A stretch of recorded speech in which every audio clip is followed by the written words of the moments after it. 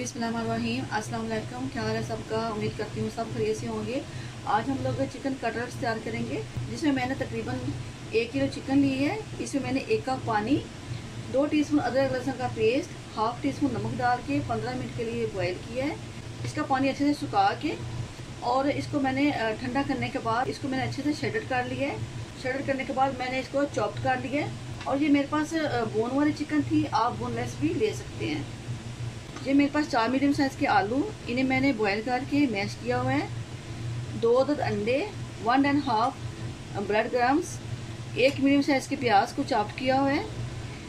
ये कुछ पाउडर मसाले हैं इसमें मैंने एक टीस्पून नमक, एक टीस्पून पिसी हुई काली मिर्च, एक टीस्पून भुना कुटा जीरा, एक टीस्पून गरम मसाला पिसा हुआ half teaspoon white pepper या इसे सफ़ेद मिर्च भी कह सकते हैं आप, एक टीस्पून चिली फ्लेक्स दो हरी मिर्च बड़ी कटी हुई, एक टीस्पून लहसुन पेस्ट, चार चम्मच बड़ी कटा हुआ धनिया, एक लीमू का रस, एक टीस्पून सोया सॉस। तो चलिए स्टार्ट करते हैं। चिकन ऐड कर लेते हैं बिस्मिल्लाहिर्रहमानिर्रहीम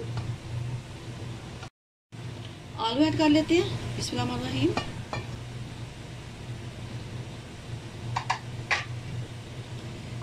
प्याज ऐड कर लेते हैं। प्याज को आप चॉप भी कर सकते हैं और बरीक बरीक ऑमलेट कट भी कर सकते हैं। ये कुछ पाउडर मसाले हैं, ये भी ऐड कर लेते हैं, जिसमें एक टीस्पून नमक, एक टीस्पून पीसी हुई काली मिर्च, एक टीस्पून बुनाकुटा जीरा, एक टीस्पून पीसा हुआ गरम मसाला half teaspoon white pepper या सफ़ेद मिर्च कह सकते हैं। एक टीस्पून कुटी हुई लाल मिर्च, ये ऐड कर लेते हैं। नमक मिर्च आप अपने टेस्ट के हिसाब से डाल सकते हैं। ये बरी कटा हुआ धनिया और एक टीस्पून पिसा हुआ लहसुन बारीक कटी हुई दो हरी मिर्च, इनको भी ऐड कर लेते हैं। लीमू का रस ऐड कर लेते हैं। सोया सॉस ऐड कर लेते हैं। बिस्मिल्लाहिर्रहमानिर्रहीम मिक्स कर लेते हैं। बिस्मिल्लाहिर्रहमानिर्रहीम तो ये देखिए, मैंने अच्छे से मैच कर लिया एक बात बताना भूल गई थी कि सोया सॉस हमने डालना है इसके अंदर तो इसलिए आपने नमक को बड़े ध्यान से डालना है। मिर्च को आप स्किप कर सकते हैं, अगर आप बच्चों के लिए बना रहे हैं तो। अब हम अंडे को फेंट लेते हैं से फेंट लेते हैं दो हम नमक ऐड कर लिए तो अंडों को हमने अच्छे से फेंट लिया। थोड़ा सा हम ऐसे ऑयल हाथ पे लगाएँगे। एक हम ऐसे एक पोर्शन लेंगे इसका। आप अपनी पसंद का साइज़ रख सकते हैं, छोटे बड़े को आप आप कर सकते हैं। अगर आपको गोल से पसंद है, गोल बना लीजिए अगर आपको इस तरह पसंद है तो इस तरह बना लीजिए तो मैं इस तरह के को आप तैयार करूँगी, इस साइज़ के।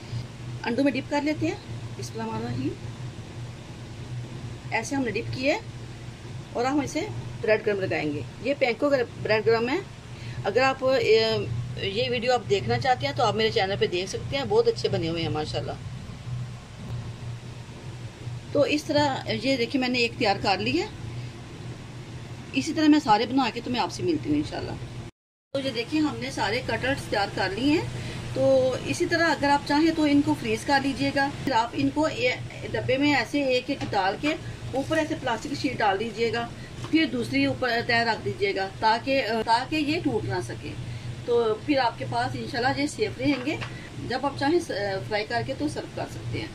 तो अब हम इन्हें फ्राई कर लेते हैं। चूल्हे को ऑन कर लेते हैं। इसमें मीडियम आँच पे। ज़्यादा तेज़ आँच आपने नहीं रखनी। बस सारा कुछ पका हुआ है, बस इनको हमने फ्राई करना है। आयल गर्म होने का वेट करते हैं। तो आयल हमारा गर्म हो गया चेक कर लेते हैं एक दफ़ा। ब्रेड क्रम डाल के थोड़ा सा चेक किया इसे हम निकाल लेते हैं। तो इन्हें हम एक एक करके डालते जाएँगे। बिस्मिल्लाह बहुत केयरफुली होके तो आपने कट कटलेट्स को डालना है। हमने एक तरफ़ से पहले एक दो मिनट हमने इन्हें रखना है, जब वो गोल्डन कलर आ जाएगा, फिर हम इनकी साइड चेंज करेंगे। तो देखिए, यहाँ पे एक दो मिनट हो गए इन्हें फ्राई करते हुए। तो आप देख सकते हैं, माशाल्लाह गोल्डन कलर कितना प्यारा आया है ना। तो आराम से आपने इनकी साइड चेंज करनी है। दूसरी तरफ़ से भी हम इन्हें एक से दो मिनट तक ही पकाएँगे।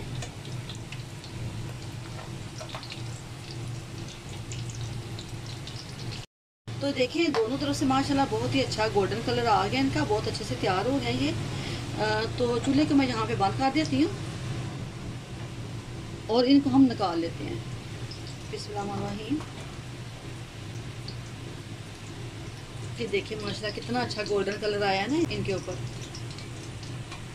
तो लीजिए, चिकन और आलू के कटलेट्स तैयार हो गए हैं। माशाल्लाह बहुत ही क्रिस्पी बहुत ही चूसी और बहुत ही मज़ेदार माशा ज़बरदस्त तैयार हुए हैं। तो आप लोग ज़रूर ट्राई कीजिएगा। इंशाल्लाह आपको बेहद पसंद आएँगे। बहुत ही मज़े के बने हैं, माशाल्लाह। आप इन्हें केचप या धनिया पुदीने की चटनी के साथ भी आप सर्व कर सकते हैं। अगर आपको मेरी वीडियो पसंद आती हैं तो प्लीज़ मुझे सब्सक्राइब किया करें और लाइक भी किया करें और अपने दोस्तों घर वालों के साथ शेयर किया करें मेरी वीडियोस मुझे आपके सपोर्ट की बेहद ज़रूरत है। मुझे आप सब बहन भाइयों के सपोर्ट की बड़ी सख्त ज़रूरत है। इसलिए प्लीज़ अस प्लीज़ मुझे सपोर्ट करें मेरे चैनल को। मैं आपकी बेहद शुक्रगुजार होंगी वीडियो को पूरा आप देखे करें ताकि कोई भी स्टेप मिस ना हो सके आपको पूरी वीडियो सही तरह मिल सके। तो इसी के साथ मुझे आप इजाज़त दें। इनशाला एक जल्दी नई वीडियो लेके आऊँगी आप, आपके लिए। तो तब तक के लिए इजाज़त दें अपना बहुत सा ख्याल रखें। अल्लाह हाफिज़ वालेकुम